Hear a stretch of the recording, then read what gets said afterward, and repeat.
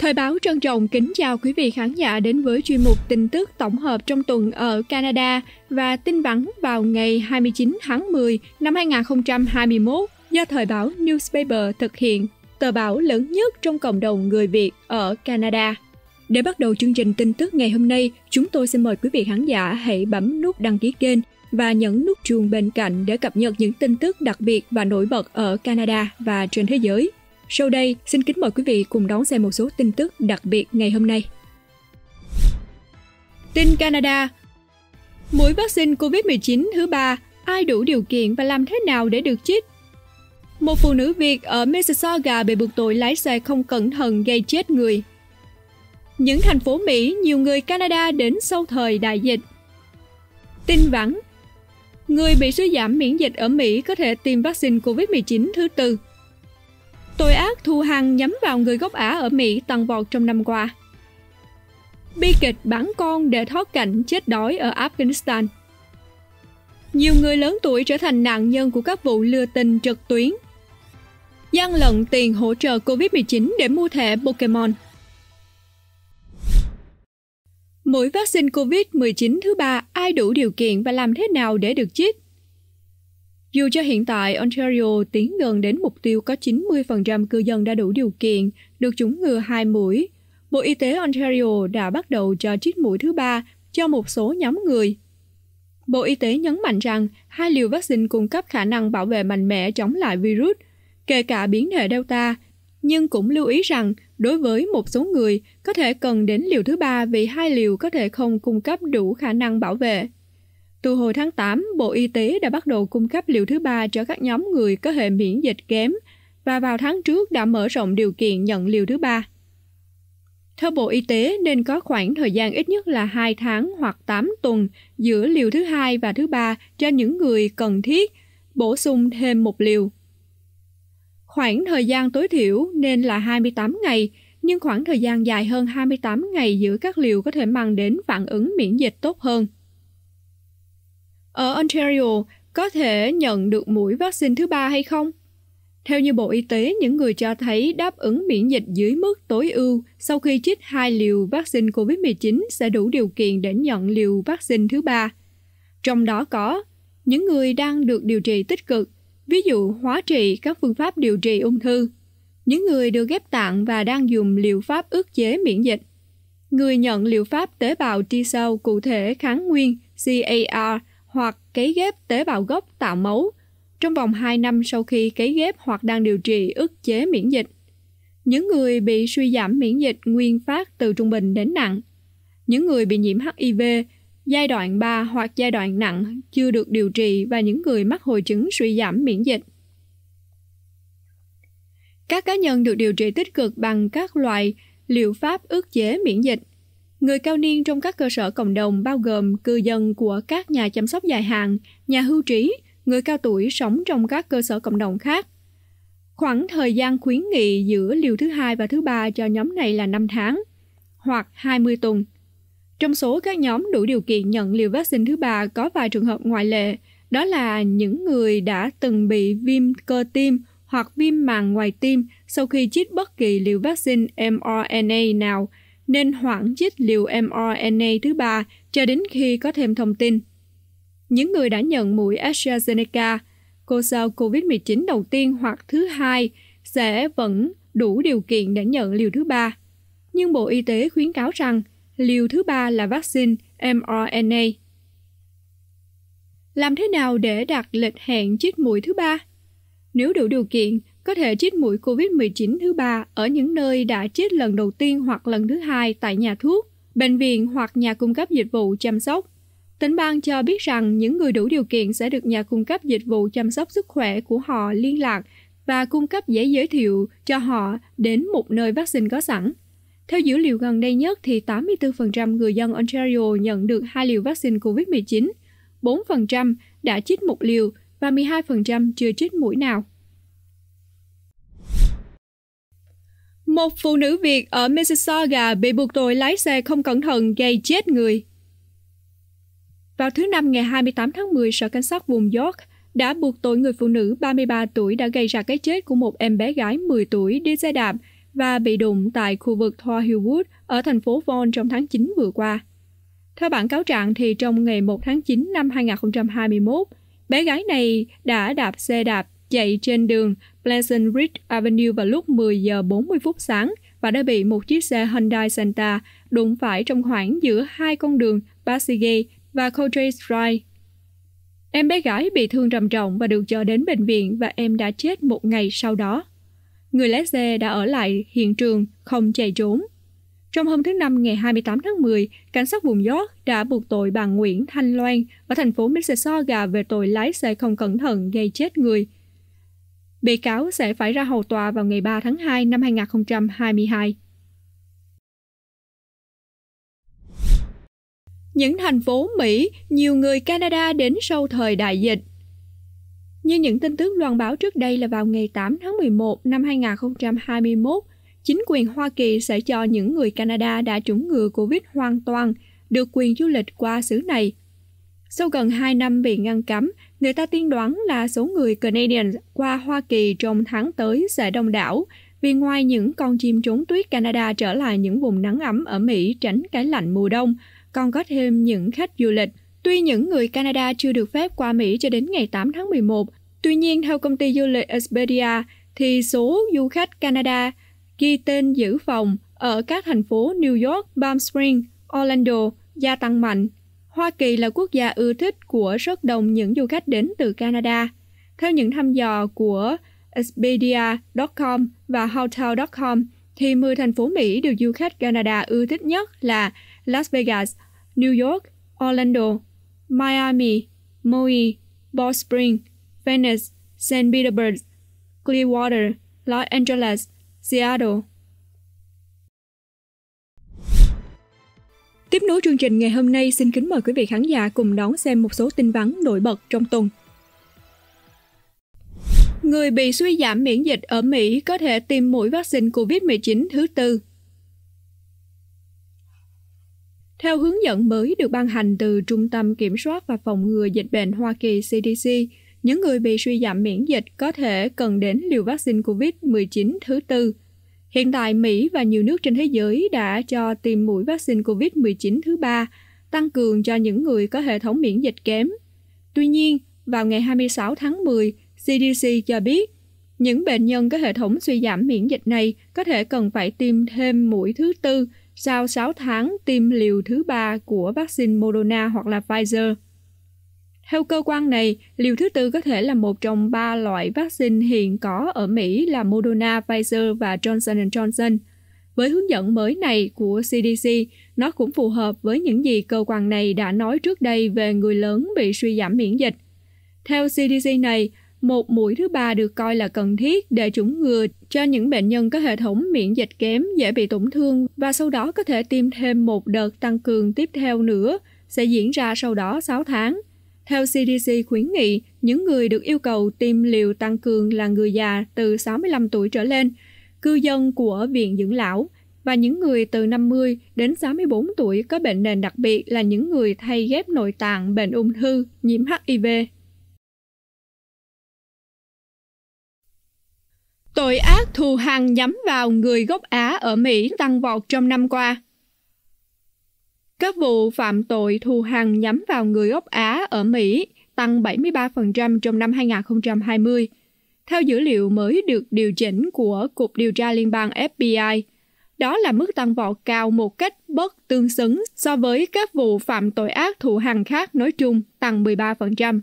Dữ liệu của FBI ban đầu được công bố vào tháng 8 đã được đăng lại vào sáng ngày thứ hai sau khi tìm thấy lỗi trong hệ thống báo cáo của bang Ohio. Số liệu thống kê đã được sửa lại theo thông cáo báo chí của FBI và dữ liệu mới phản ánh con số chính xác do 15.138 cơ quan chấp pháp đã báo cáo các vụ việc. Tỷ lệ các vụ phạm tội ác thù hằn xác nhận những gì mà các học giả, các nhà hoạt động và các nhà lãnh đạo cộng đồng đã biết từ lâu – rằng các vụ việc nhắm vào người gốc Á đã tăng vọt trong đại dịch, theo NBC News cho biết. FBI đã báo cáo 279 vụ phạm tội ác thù hằn nhắm vào người gốc Á vào năm 2020 so với 161 vụ vào năm 2019. Trong số tất cả các vụ được báo cáo vào năm 2020, bao gồm cả trong các hạng mục khác ngoài chủng tộc. Thành kiến bài người gốc Á đứng thứ 8 trong số những động cơ phạm tội phổ biến nhất. Những vụ phạm tội nhắm vào người da đen và người gốc Mỹ Latin cao hơn về số lượng, nhưng không có nhóm sát dân nào chứng kiến sự gia tăng mạnh như người gốc Á. Người da trắng chiếm hơn 55% số người phạm tội khắp các nhóm sát dân, FBI cho biết.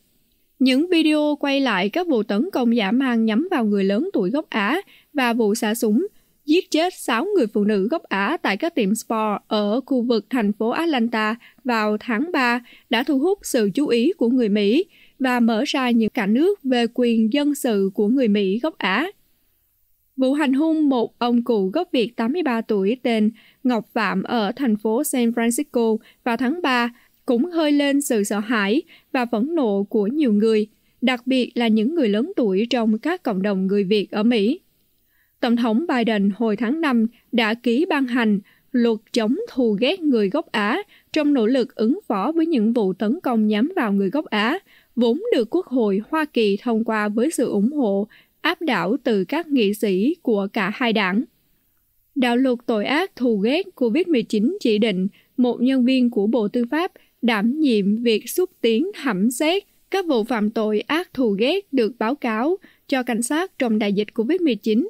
Luật cũng cung cấp những hướng dẫn cho các cơ quan, chấp pháp, cấp bang và cấp địa phương để báo cáo những vụ vi phạm tội ác thù ghét. Mở rộng các chiến dịch giáo dục công chúng và ban hành hướng dẫn để chống lại ngôn từ mang tính kỳ thị khi mô tả đại dịch.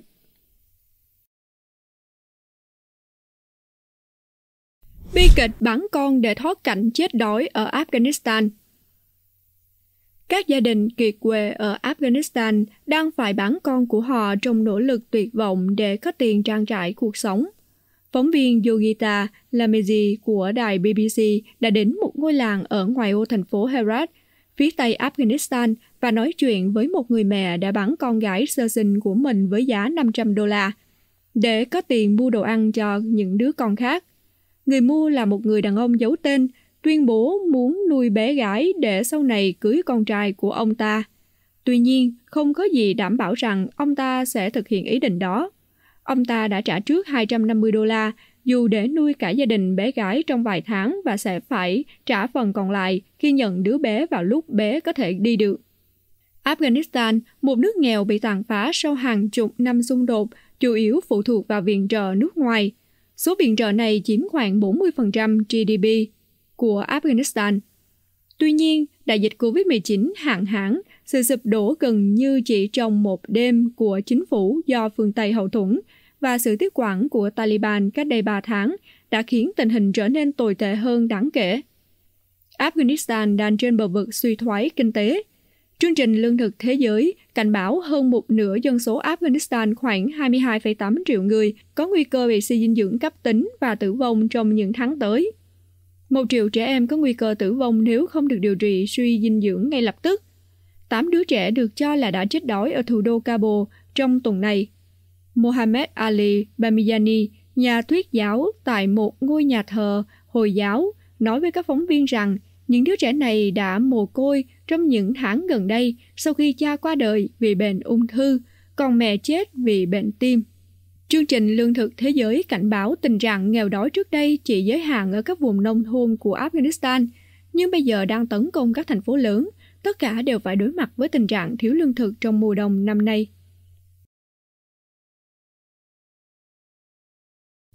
Những người lớn tuổi trở thành nạn nhân của các vụ lừa tình trực tuyến. Ngày càng có nhiều người trên 60 tuổi bị vướng vào các vụ lừa đảo tình ái trực tuyến qua nhiều ứng dụng xã hội từ Facebook, Match đến Tinder, mà một phần nguyên nhân là ảnh hưởng đại dịch COVID-19. Kate, một góa phụ ở Pennsylvania, là một trong những nạn nhân đã mạnh dạn lên tiếng và báo cáo Ủy ban chuyên trách về người cao tuổi ở Thượng viện vào tháng rồi khi bà bị vướng vào một vụ lừa đảo tình ái và bị mất khoảng 39.000 đô la. Sau khi nhận được lời mời kết bạn trên Facebook vào tháng 8 năm 2020 từ một người đàn ông có biệt danh là Tony, thì Kay bắt đầu tương tác với anh ta trên một ứng dụng khác. Tony cho bà Kay biết anh ta đang làm việc tại Iraq, theo một bản hợp đồng với Liên Hợp Quốc. Bà này sau đó đã gửi phiếu quà tặng đến cho Tony và các con của anh ta theo lời đề nghị của người đàn ông này. Tony đã hứa hẹn gặp bà ở Philadelphia vào tháng 12 năm 2020, nhưng đã không xuất hiện. Sau đó một người đàn ông khác đã giả làm luật sư của Tony để gọi điện đến cho bà, yêu cầu bà chuyển 20.000 đô la cho ông ta để lo cho Tony được tại ngoại. Và bà đã vét hết tiền từ thẻ tín dụng và số an sinh xã hội của mình để chuyển theo đề nghị này. Sau này bà mới phát giác những bức ảnh mà Tony gửi cho bà là một bác sĩ ở Tây Ban Nha. Theo Ủy ban Thương mại Liên bang FTC, trong năm 2020, những người lớn tuổi từ 60 tuổi trở lên đã bị mất hơn 139 triệu đô la cho các vụ lừa tình trực tuyến, tăng 65% so với năm 2019. Với những người trên 70 tuổi, trung bình mỗi người bị thiệt hại gần 9.500 đô la cho các vụ lừa tình. Tính chung tổng số tiền mà các nạn nhân của các vụ lừa đảo tình ái thuộc mọi độ tuổi đã bị mất trong năm 2020, ít nhất là 304 triệu đô la, tăng 50% so với năm trước. Đại dịch COVID-19 dẫn đến việc nhiều người lớn dành nhiều thời gian hơn trên các mạng xã hội, và đây chính là cơ hội cho những kẻ lừa đảo tình ái trực tuyến tác nghiệp. Theo FTC, những kẻ lừa tình thường tạo hồ sơ giả trên các trang web và ứng dụng hẹn hò như là Ashley Madison, March hay là Tinder. Chúng cũng nhắm mục tiêu vào những người dùng của các ứng dụng Instagram và Facebook. Những kẻ lừa đảo thường đưa ra một số hồ sơ nghề nghiệp rất đẹp, chẳng hạn như đang làm việc ở một giàn khoan, phục vụ trong quân đội hoặc là bác sĩ của một tổ chức quốc tế. Sau khi tìm được con mồi, chúng thường dẫn dắt họ sang các kênh khác như là email, điện thoại và tin nhắn để tương tác nhằm tránh truy vết. Để đào mỏ các nạn nhân, chúng thường tạo dựng một số tình huống khẩn cấp như hỗ trợ việc đi lại, chăm sóc y tế. Sau đó, chúng thường yêu cầu nạn nhân gửi tiền bằng chuyển khoản qua Western Union hoặc là MoneyGram. gian lận tiền hỗ trợ COVID-19 để mua thẻ Pokemon. Một người đàn ông ở bang Georgia đang đối mặt án tù 20 năm do bị cáo buộc hai báo gian lận nhận tiền trợ cấp COVID-19 để mua một tấm thẻ Pokemon trị giá 57.789 đô la. Theo New York Post đưa tin, Venus Alderson, sống ở bang Georgia đã bị cáo buộc mắc tội gian lận sau khi nói dối để có được khoản hỗ trợ COVID-19 hơn 80.000 đô la và ông này đã dùng một phần khoản tiền là 57.789 đô la để mua một tấm thẻ Pokemon, một bộ phim hoạt hình Nhật Bản nổi tiếng toàn cầu. Theo phía công tố, vào tháng 7 năm 2020, thì ông này đã nộp đơn xin để nhận khoản vay hỗ trợ cho doanh nghiệp nhỏ trong đại dịch COVID-19 nhằm hỗ trợ việc trả lương, chi phí sản xuất, trả nợ hoặc tiền thuê.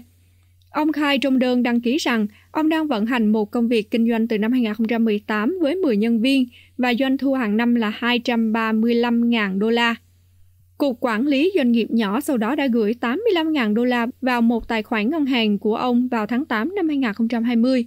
Hồi tháng 1 thì ông đã chi phần lớn số tiền chỉ để mua một chiếc thẻ Pokemon. Cơ quan chức năng sau đó cáo buộc ông đã khai báo các thông tin nói trên không chính xác để nhận hỗ trợ. Theo New York Post, người đàn ông này hiện phải đối mặt với bản án với 20 năm tù và đóng phạt 250.000 đô la. Theo Washington Post, vụ gian lận liên quan đến ông này là một phần trong chiến dịch cấp liên bang nhằm phanh phui hành vi gian lận và lạm dụng các chương trình hỗ trợ kinh tế trong đại dịch. Vụ này cũng làm dấy lên mối quan ngại về sự lãng phí và tính hiệu quả của chương trình. Hồi tháng 7, một người đàn ông bị tuyên án 11 năm tù sau khi khai báo thông tin sai sự thật để lừa đảo chiếm đoạt 24,8 triệu đô la trong các khoản vay chương trình hỗ trợ doanh nghiệp PPP. Vào tháng 9, một người đàn ông California đã nhận tội lừa đảo 9 triệu đô la từ các chương trình cứu trợ COVID-19. Thưa quý vị khán giả, tin tức vừa rồi tạm khép lại chương trình tin tức tổng hợp trong tuần ngày hôm nay của Thời báo Media. Nếu quý vị yêu thích chương trình của chúng tôi, Đừng quên bấm nút yêu thích và chia sẻ video đến với người thân và bạn bè để họ có thể cập nhật những tin tức mới nhất ở Canada và trên thế giới. Thời báo chúc cho quý vị có những ngày cuối tuần vui vẻ và nhiều sức khỏe. Xin kính chào và hẹn gặp lại quý vị khán giả trong những bản tin tổng hợp tiếp theo của chúng tôi trên kênh YouTube Thời báo Media.